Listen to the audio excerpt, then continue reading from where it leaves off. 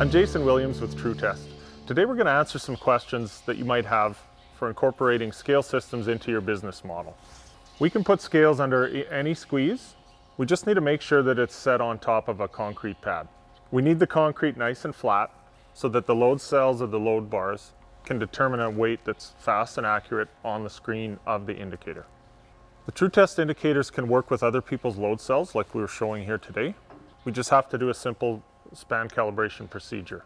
We can incorporate electronic ear tag readers into the scale head and our products will work with other scales. Our readers will work with other people's indicators. You can transfer the information to a mainframe computer if you need to, or you can capture that information right on the indicator.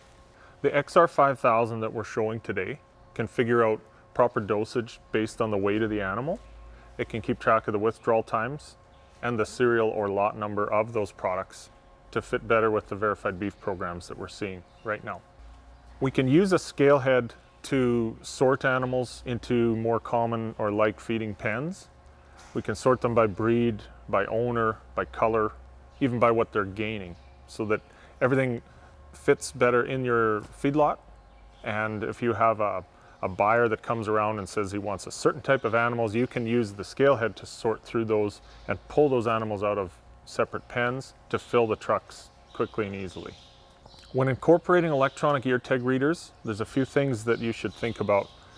There are some companies that make a neck bar reader. They work very well and they're up near the head of the animal. Once it's restrained, the tags are read fairly easily. We have a system that incorporates a panel that will allow tag capture as the tag passes in front of the panel itself. A drawback to a, any panel system, ours or our competitors, once they're mounted, they're fixed to the side. They do not go up, they do not go down.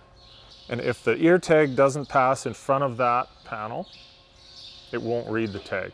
So if it goes underneath it or above it, you won't get a tag read. We see a lot of people utilizing a stick reader because you can lift it up, you can reach down, and we don't see um, the misreads that we do with other systems.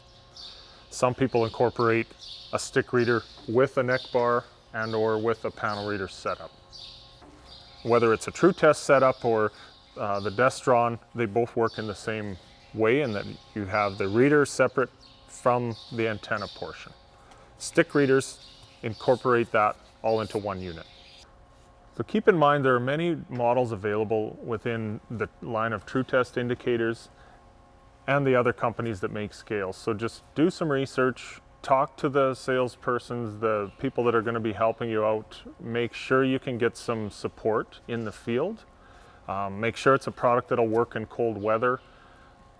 We don't have a touchscreen unit. We have raised buttons on our indicators so that we can wear a set of gloves and you can work when it's 20 below um, outside and still be able to capture that information.